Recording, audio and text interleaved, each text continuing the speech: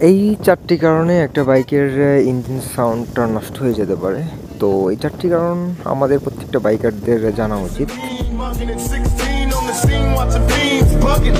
Kicking up dust with the older G's. Soaking up the game that was told to me. I ain't never touched a what is up crazy what is welcome back to my YouTube channel crazy biker তো thumbnail দেখে অবশ্যই বুঝে গেছেন যে ভিডিওটি আজকে কতটা গুরুত্বপূর্ণ সো লেট স্টার্ট দ্য বাইকের সাউন্ড ঠিক রাখতে চায় না, আমার মনে হয় না এমন কোনো বাইকার আছে।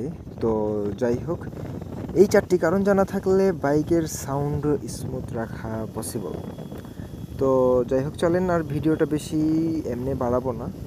এমনি বাড়াইলে অনেক কথাই বলা বলা, বলতে হবে আর কি। তো যাই হোক, কারণগুলো আমরা একটু জানি।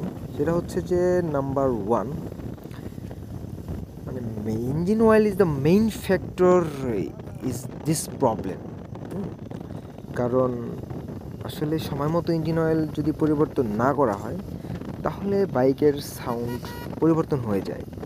আর হ্যাঁ যদি ব্র্যান্ড নিউ গাড়ি অর্থাৎ যদি কেউ কোনো একটা গাড়ি শোরুম থেকে কিনে থাকে, তো সেই গাড়ির ক্ষেত্রে কিছু না বললে মানে তো বুঝতেই তো পারতেছেন সেই গাড়ির পার্টসগুলো সব কিছু নতুন থাকে। তো সেই ক্ষেত্রে গাড়িতে আসলে প্রতি তিনশো কিলোমিটার পর পর অর্থাৎ পঁচিশশো কিলোমিটার পর্যন্ত মানে বাইকের এই সাউন্ড ঠিক রাখার জন্য প্রতি তিনশো কিলোমিটারে আর কি পঁচিশশো কিলোমিটারের ভেতর প্রতি তিনশো কিলোমিটারে আর কি মোবাইলটা চেঞ্জ করা উচিত, অর্থাৎ ইঞ্জিন অয়েলটা পরিবর্তন করা উচিত। আর হ্যাঁ অবশ্যই মনে রাখবেন যে মিনারেল ইঞ্জিন অয়েলটা ইউজ করতে হবে।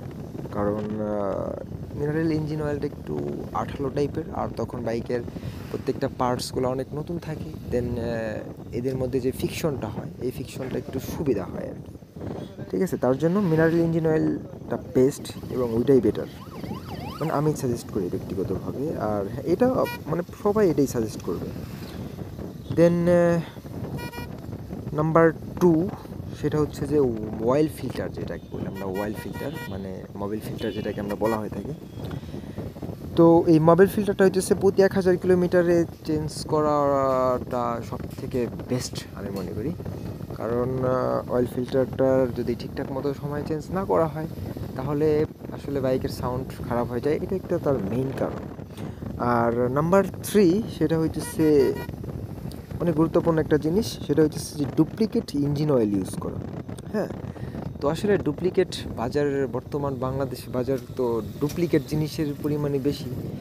আর হ্যাঁ এর ভিতরে আবার অরিজিনাল জিনিসগুলোও পাওয়া যায় পারচেস করা যায়।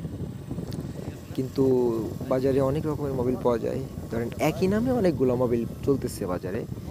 কোনটার দাম কম, কোনটা দাম বেশি। তবে হ্যাঁ আমরা দাম বেশি বা কম দিয়ে আমরা জাস্টিফাই করব না যে এইটা আমাদের ভালো মোবাইল এইটা খারাপ মোবাইল অবশ্যই সার্ভিস সেন্টারের রিকমেন্ড নেওয়া উচিত। যদিও ওদের এখান থেকে কিছু পার্সেন্টেজ থাকে, তারপর ওদেরটা রিকমেন্ড নেওয়া উচিত, কারণ ওরা অবশ্যই ভালো জিনিসটা সাজেস্ট করবে। তা না হলে ওদের আবার একটু প্রবলেম আছে, যখন আপনারাকে ফ্রি সার্ভিসগুলো দেবে, এতে ওরা প্যারা খাইতে পারে। এই সিস্টেম হলেও একটু চিন্তা ভাবনা করলে ওরা আর কি অন্তত পক্ষে ভালো জিনিসটা সাজেস্ট করবে, দাম বেশি নিল। ওরাও একটু বেশি নেয় এখানে। মানে বাইরের তুলনায় এখানে একটু দামটা একটু বেশি হয়ে থাকে, এটাই আর কি। তো তারপরও ওই জিনিসটা আসলে ভালো। তো এই উল্টা উল্টাপাল্টা ইঞ্জিন অয়েল ইউজ করলে বাইকের সাউন্ডটা নষ্ট হয়, এটা একটা কারণ। আর হ্যাঁ কেউ যদি পার্সোনালি আমাকে জিজ্ঞাসা করেন যে, ভাইয়া, আপনি কোন মোবাইল ইউজ করেন? তো আমি তখন বলব যে, আমার এই মানে পঁয়ত্রিশশো কিলোমিটার আমার বাইক টোটাল রাইড করা হয়ে গেছে বা অলরেডি রান করে ফেলছে পঁয়ত্রিশশো প্লাস তো আমি এর ভিতর বরাবর মতুল মিনারেল টেন ফোরটিটা ইউজ করে আসতেছি। তো এখন পর্যন্ত আমার বাইকের সাউন্ডটা আমার কাছে খুবই ভালো লাগতেছে, মনে হয় না এরকম কোনো কিছু হয়েছে বা খারাপ সাউন্ড আসতেছে, এরকম আমার কাছে কিছু মনেই হয় নাই। আর হ্যাঁ অবশ্যই আট হাজার কিলোমিটার পর বাইকে সিনথেটিক মোবাইলটা ইউজ করা সব থেকে বেটার কারণ তখন যদি আপনি মিনারেল ইউজ করেন, তখন বাইকটা আর কি সাউন্ড পরিবর্তন হওয়া বা সাউন্ড নষ্ট হয়ে যাওয়া বা সাইন ফেটে যাওয়ার এরকম একটা ইয়া হয়ে থাকে। ঠিক আছে? আর সব থেকে লাস্ট যে প্রবলেম এবং সব থেকে গুরুত্বপূর্ণ এবং সব থেকে ইম্পর্টেন্ট একটা বাইকের জন্য, সেটা হচ্ছে ব্রেকিং পিরিয়ড ব্রেকিং পিরিয়ডটা হইতেছে এমন একটা সময় একটা বাইকের জন্য, যে একটা শিশু যখন জন্মগ্রহণ করে, সে শিশুটাকে লালন পালন করে আমরা যেমনি বড় করি, ওরে যেগুলো আমরা শিখাই, ও যেগুলো বুঝবে বা ওগুলো যেগুলো শেখানো দরকার কিন্তু ঠিক তখনই সেগুলো শেখানো হয়ে থাকে। তো এইভাবে বাইকের ক্ষেত্রেও ঠিক একই জিনিস, কারণ বাইকেও এই একইভাবে একই কাজটাই করা হয়ে থাকে। তো বাইক যখন ওই সময় আর কি বাচ্চাদের মতোই বলা বললে খারাপ হবে না। কারণ বাইকের তখন ওকে আমরা যেভাবে যা শেখাবো, ওইভাবেই নেবে এবং ওকে ওই ওই তখন থেকে ওকে আসলে কেয়ার করে আসতে হবে। ঠিক আছে? তাহলে আপনি, আমার মনে হয় না আপনার এরকম এটা যদি সব কিছু মেনে চলেন, আপনার বাইকের সাউন্ড কখনো নষ্ট হইতে পারে বা ফেটে যেতে পারে, এরকম আমার মনে হয় না কখনো হবে। তো যাই হোক, আট হাজার কিলোমিটার পর পার্সোনালি আমি সিনথেটিক ইউজ করা শুরু করে দেব।